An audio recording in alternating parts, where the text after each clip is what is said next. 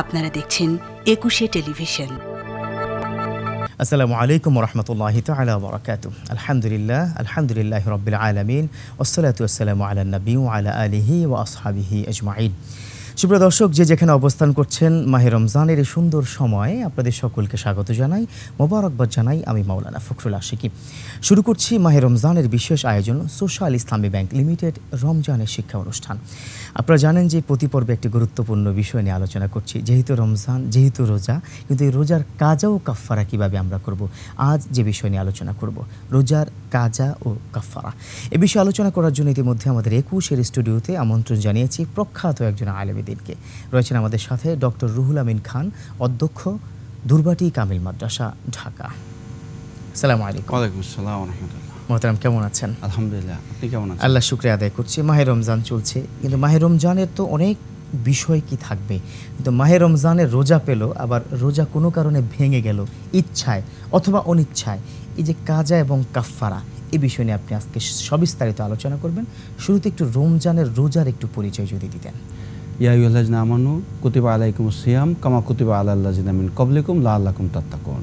আল্লাহ বলছেন যে ইমানদাররা তোমাদের উপর রোজা ফরজ করা হয়েছে। যেরকম তোমাদের পূর্ববর্তী নবী এবং উম্মদের উপরে রোজা ফরজ করা হয়েছিল এর রোজার মাহাত্ম যদি তোমরা বুঝতে পারো এবং পালন করো তাহলে তোমরা মোত্তাকি হতে পারবে। এটা হচ্ছে মূল কথা। মূল কথা। পরহেজগার হতে পারবে মোত্তাকি হতে পারবে তোমরা।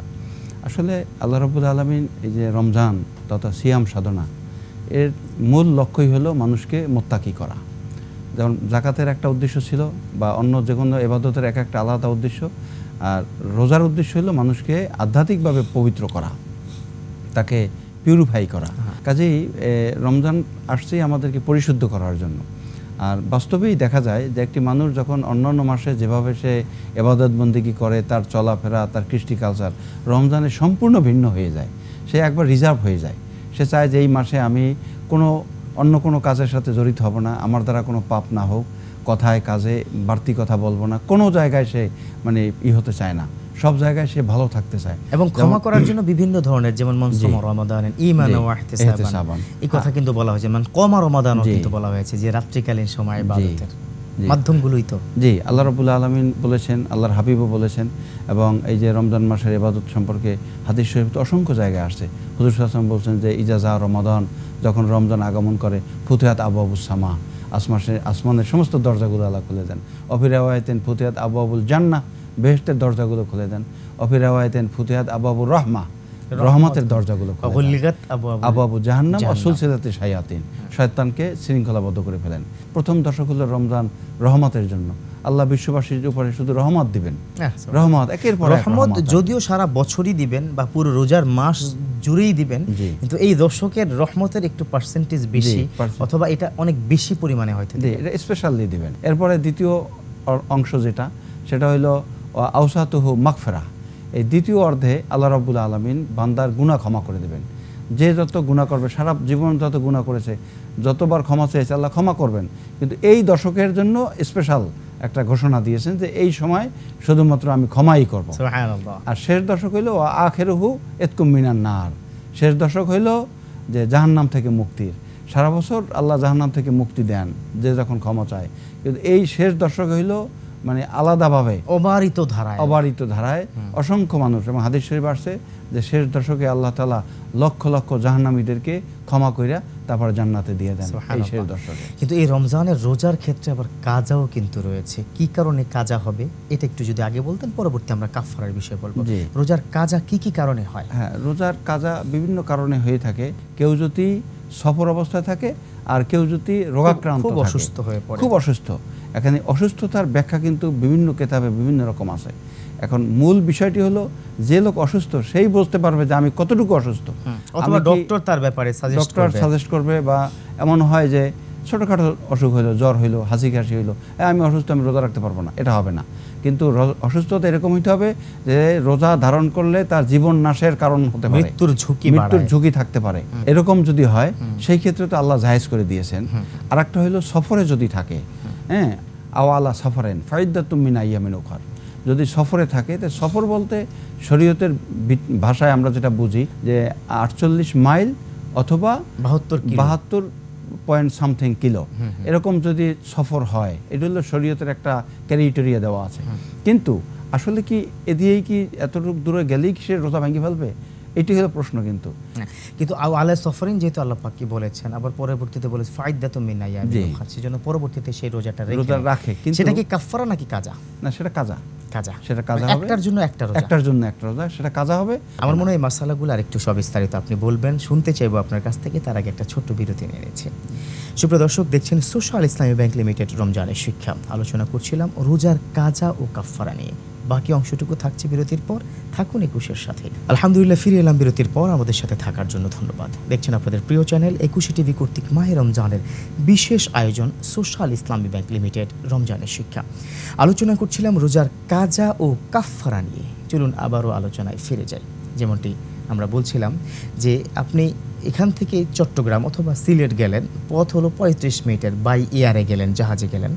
সেক্ষেত্রে কি রোজা কি আপনি ভাঙতে পারবেন কিনা? সুস্থ সবল মানুষ কোনো অসুবিধা নেই। একজন সুস্থ সবল মানুষ যদি বাই এয়ারে চট্টগ্রাম কক্সবাজার অথবা বরিশাল যেখানেই যাক না কেন চল্লিশ পঞ্চাশ এক ঘণ্টার জার্নি হয় তা শরীয়তের দৃষ্টিতে সে মুসাফের।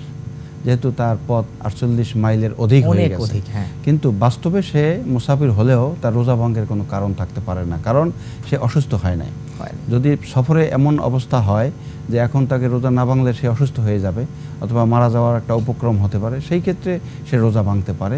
কারণ আল্লাহ রবুল্লা আলমিন কোরআনুল কারিমের মধ্যে এই আয়তের শেষেই কিন্তু বলছেন যে তুমি অসুস্থ অবস্থায় রোজা ভাঙো অথবা সফর অবস্থায় থাকার কারণে রোজা ভাঙো। কিন্তু তুমি জানো যে রোজাটা কত মূল্যবান। যদি তুমি রোজা ধারণ করো রোজার সব তুমিই কিন্তু লাভ করবে। রোজা শুধু তোমারই জন্য। তোমারই জন্য। হ্যাঁ হ্যাঁ হ্যাঁ। এটা কিন্তু আল্লাহ পরে বলে দিয়েছেন। কাজে এটা আল্লাহ বান্দার উপরে মানে বান্দার এখতিয়ারে রেখেছেন। সে রোজা রাখবে কি রাখবে না এটা তার তাকওয়ার উপরে নির্ভর করবে। এখন কেউ যদি মনে করে যে আমি তো মুসাফির হয়ে গেছি কিন্তু আমি তো সুস্থ আমি তো ভাঙতে পারি কিন্তু সেটা তার জন্য সমীচীন হবে না। একমাত্র দুর্বল না হয়ে গেলে অসুস্থ না হয়ে গেলে বা বড় ধরনের কোনো সমস্যা তার দেখা না দিলে এই এই ছোটোখাটো জার্নিতে তাকে রোজা ভাঙ্গার কোনো বিধান নাই। রমজান মাস। রমজান মাস। রমজানের মধ্যে যদি কেউ স্বেচ্ছায় রোজা ভঙ্গ করে ইচ্ছাকৃত রোজা ভঙ্গ করে একটি। পানাহারের মাধ্যম হতে পারে স্ত্রী সহবাসের মাধ্যম হতে পারে যে কোনো কারণে সে যদি ইচ্ছা করিয়া রোজার মাসে এমন কোনো কাজ করে যাতে রোজাটা ভঙ্গ হয়ে যায়। কিন্তু স্বেচ্ছায় ভুলবশত না স্বেচ্ছায় তাহলে কিন্তু তাকে কাফারা দিতে হবে। কাফফারার বিধানটা কি? কাফারার বিধান হলো একটি যদি স্বেচ্ছায় যদি কেউ রোজা ভঙ্গ করে তা একটি রোজার বিনিময়ে তাকে ষাটটি রোজা রাখতে হবে এবং সেটা কি একাধারে? এবং মোতাতাবেয়ান। মানে চলতে শরীফে আসছে মোতাতাবেয়ান সে ভাঙতে পারবে না। ক্রমধারায়। ক্রমধারায়। মানে মাঝখানে যদি উনষাটতম রোজাটা একটু ব্রেকআপ পড়ে যায় তাহলে কি তার জন্য রোজাকে আবার রাখতে হবে? আবার পুনরায় রাখতে আবার এক নম্বর থেকে এক নম্বর থেকে শুরু করতে কত কঠিন আসলে ষাটটা রোজা রাখবে এর মাঝে তিরিশটা রাখার পরে একদিন অসুস্থ হয়ে গেলে রোজা রাখতে পারল না। পরবর্তী দিন থেকে একত্রিশ আর হবে না। পরবর্তী দিন থেকে আবার এক থেকে শুরু হবে। আচ্ছা এবার এটার জন্য কোনো বিকল্প কোনো পদ্ধতি আছে কিনা? যদি না রাখতে পারে তার ষাট জন মিসকিমে মিসকিনকে সে দুই বেলা। খাদ্য খাবার দেবে। পেট ভরে। পেট ভরে যেটা সে খাইতো। হ্যাঁ রোজার জন্য একাধারে ষাটটি রোজা রাখতে হবে। এবং যদি না হয় তার ষাট জন মিসকিনকে খাওয়াইতে হবে।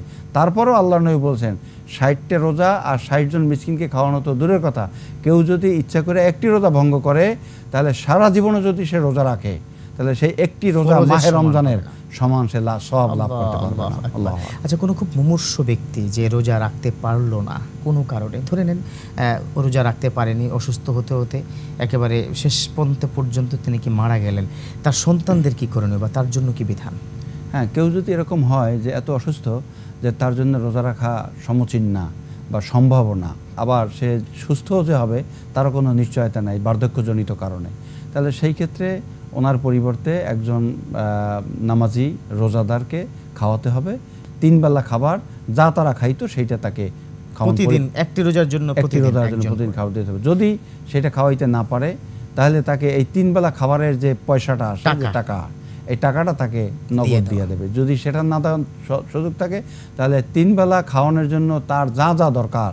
যেমন এমন একজন গরিব মানুষ মুসাফির বা আমরা একজন দুস্থ মানুষ যে বাজারে যাইয়া বাজার কাট করে আসতে পারবে না তখন তাকে এক মাস খাওয়ার জন্য যা যা লাগবে সব তাকে ক্রয় করে তাকে দিতে হবে।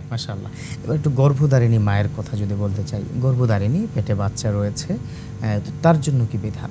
গর্ভধারণী যদি যতক্ষণ পর্যন্ত সে রোজা ধারণ করতে পারবে ডক্টর যদি বলে যে বাচ্চা অপুষ্টিতে থাকবে অথবা তার এতই কষ্ট হচ্ছে যে আর পারছে না তখন কি করবে? হ্যাঁ সেই ক্ষেত্রে সে রোজা ভাঙবে এবং অন্য সময় আদায় করবে। তবে রোজা রাখলে যদি তার বাচ্চার ক্ষতি হতে পারে বা তার স্বাস্থ্যের ক্ষতি হতে পারে অথবা সে বেশি অসুস্থ হইয়া বড় ধরনের কোনো দুর্ঘটনা ঘটতে পারে সেই ক্ষেত্রে সে পরবর্তীতে আদায় করতে পারবে।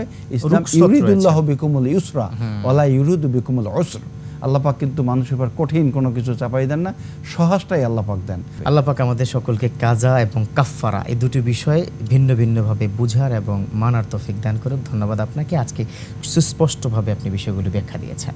যে আপনাকে অসংখ্য ধন্যবাদ। আসসালামু আলাইকুম। ওয়ালাইকুম আসসালাম রহমতুল্লাহ।